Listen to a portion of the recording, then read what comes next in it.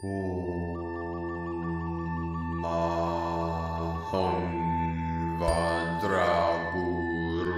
Padme.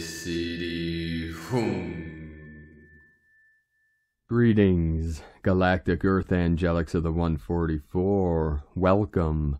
I am Paul White Gold Eagle with PrimeDisclosure.com. Happy new moon in Libra. Today we have a powerful event that synchronizes with this powerful new moon. We reach the exact center of the Mayan Tzolkin matrix with Hu-Nab-Ku, the galactic center, white cosmic dog. 13 Oak. It's a 1313 galactic portal today. So we have a couple very special transmissions for you today. One, a very special ceremony from the Archangelic calendar for this Hunter New Moon, Hunter's New Moon in Libra, and a special transmission for this alignment with the galactic center zero point.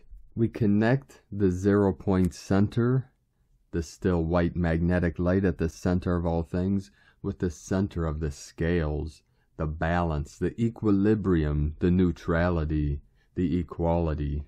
In Buddhism, we call the middle path which is the still white magnetic light at the center of all things. Buddha consciousness, the I Am presence, Christ consciousness, cosmic awareness. This pure awareness goes by many names, but all concepts are fingers pointing to the moon, to the moon of enlightenment, of awakening, of truth. That is beyond all words and concepts, beyond time and space. So we begin with our divine sister of the light, Christina Papagiorgio, Hu-Nab-Ku, Galactic Center, 25th of September 2022, with White Cosmic Dog, 13 Oak, Kin 130, Endless Source Love. Galactic Center Hu-Nab-Ku. Today we arrive at the galactic center of the sacred Tzolk'in calendar, meaning we are at zero point in which the Maya call Hu-Nab-Ku, the galactic butterfly, the galactic central sun, and full alignment with Source. So make a wish as you have direct access to the God Force today. On this day, we arrive at the central core point in the Mayan Tzolkin calendar. It is denoted by Kin 130, white cosmic dog, the cosmic heart of creation. Hu-Nab-Ku is what the Mayans referred to as the galactic butterfly. In the Yucatec Mayan language, Hu-Nab-Ku actually means source, the one, giver of movement and measure, the galactic center, God. Modern day Mayan daykeeper Hunbatz Men calls Hu-Nab-Ku the only giver of movement and measure, the universal consciousness, and prime organizer of our galaxy. The Mayans believe the galactic butterfly resides in the center of the Milky Way galaxy. To them, this being symbolizes all of the consciousness of all creation that has ever existed in the galaxy. This Hu-Nab-Ku represents the gateway to Source. From Source, all energy is then separated into yin and yang components as depicted in the black and white Mayan symbol which is very similar to the symbol of the Chinese Tai Chi, the yin yang symbol.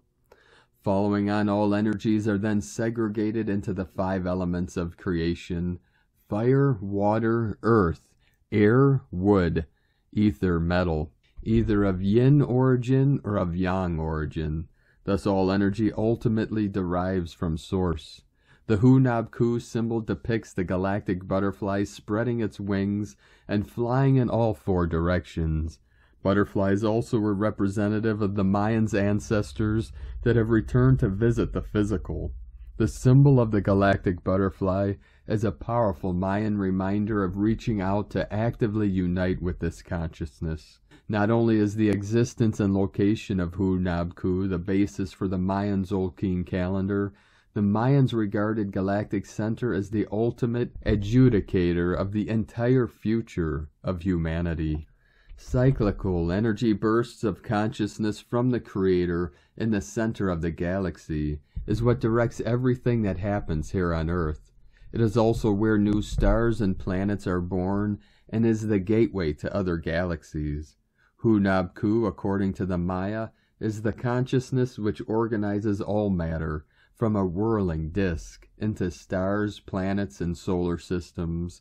Hunabku is the mother womb, which is constantly giving birth to new stars, and it gave birth to our own sun and planet Earth. The Maya also believe that the Creator directs everything that happens in our galaxy from its center through the emanation of periodic consciousness energy bursts.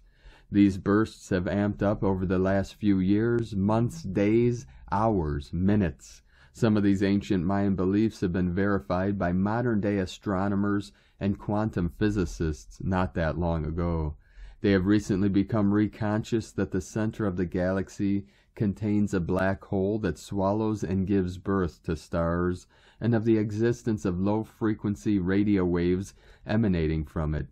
Could it be that one of the purposes of this energy from the center of the galaxy is to give humanity access to the collective consciousness, where all knowledge from the mind of God is contained?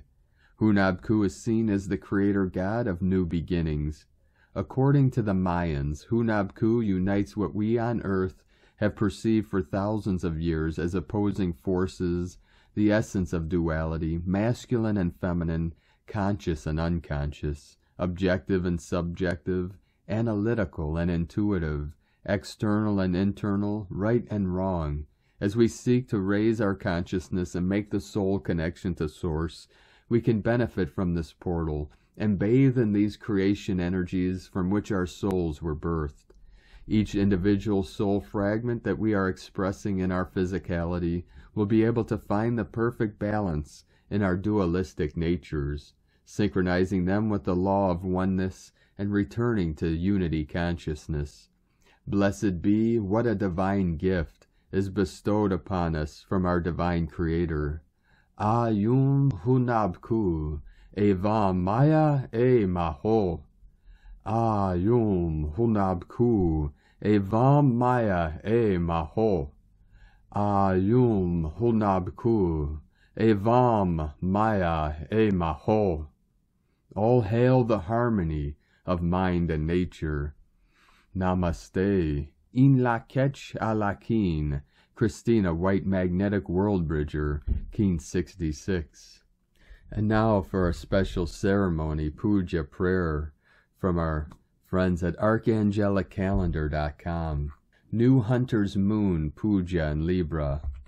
We use nature as a rhythmic reminder, a friend, an ally, and an inspiration. Everything said and done can be done in a divine light if we keep this underlying tone. The following words hail from many different traditions the start of the sacred intentions. Prepare your sacred space in the center of physical reality. Implement an atomic shake by purposefully rattling physical reality down to the atomic level. Imagine and feel the atoms of your physical reality in a state of hyper movement. Envision everyone joining us today holding hands around a sacred fire. Face east. I face my mind, body, and divine essence to the east, and bring forth the perfect energy to bring forth positive circumstances, emotions, and things to my life and the life of collective humanity. Engulf physical reality and its dimensions in rainbow breeze while invoking the emotion of excitement. Face southeast. I face my mind, body, and divine essence to the southeast and ensure my subconscious mind and inner higher self are ever present by evoking the metaphysical power of the winds of change. Engulf physical reality and its dimensions in rainbow flames, breeze, winds of change, while evoking the feeling of relief. Face south. I face my mind, body, and divine essence to the south, to bring forth the speed of fire into this effort of calling forth purposeful circumstance and quantum favor. Engulf physical reality and all its dimensions in rainbow flame while evoking gratitude. Face southwest. I face my mind, body, and divine essence to the southwest to reflect upon the wonder already in my life By doing so, I bring forth the vibration of those things and replicate them in new ways. List, replay, and feel the things you are grateful for. Face west. I face my mind, body, and divine essence to the west and evoke the power of water to break through all barriers that may be in my way, as I make all things bend in my favor. Engulf physical reality and all its dimensions in rainbow water. Face northwest. I face my mind, body, and divine essence to the northwest, and put specifics on the receptive energy all around me. I am well aware that the energy awaiting to become physical is ancient energy transformed countless times. In your mind's eye, create an ideal world for all and put your personal life in it. Face north. I face my mind, body, and divine essence to the north and solidify these intentions with the power of Mother Earth. Things that were once notions become formed through cooperation with Gaia. Evoke the power of Mother Earth and engulf all you have envisioned in rainbow plasmas. It has now become form. Face northeast. I face my mind, body, and divine essence to the northeast. Travel the multiverse and its unlimited possibilities, and move to a timeline where all that I wish to experience is already in form and awaiting my arrival. Envision a beautiful staircase to the timeline just created. Take the stairs to the timeline and make sure you feel yourself rise as you do. Feel the height. Connect with all directions. I face my mind, body, and divine essence in all the unnamed directions to explore the majesty of the new timeline to which I have just attached myself. I am free to enjoy my life and my power. This effort must go beyond envisioning. You must feel, hear, see, smell, and taste the new timeline. Bring your mental gaze deep within. I face my mind, body, and divine essence to call forth the inner divine to this moment. In this silent reflection, I evoke infinitely expanding Creator Source directly. And now meditate. Now play one of my songs on flute for all of you, pre-recorded so everyone joining us today can meditate together for the next seven minutes or so.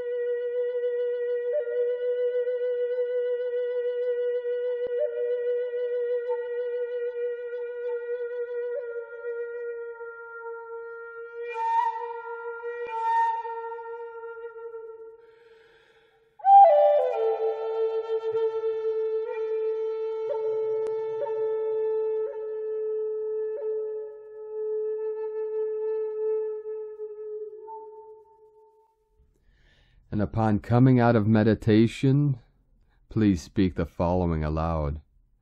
Mitakuye Oyasin, Metaquiosin, Mitakuye Oyasin. Aho. Thank you for joining us today, beloved beings of light. Have a most beautiful and blessed new moon in Libra, and a most powerful, synchronistic, still point of the center of the galaxy, the center of your being, your awareness, Hunabku, the galactic butterfly, Wakan Tanka, the great mystery. If you'd like to support us in our work and mission, you could do so at the links at our site egolovecondor.com. And be sure to join us tonight for our full daily transmissions from our sacred New Earth scribes. Keep walking gently your sacred path with heart, with peace and love in every step, and keep shining your light brightly into the night. The eagle and the condor love you all. Namaste.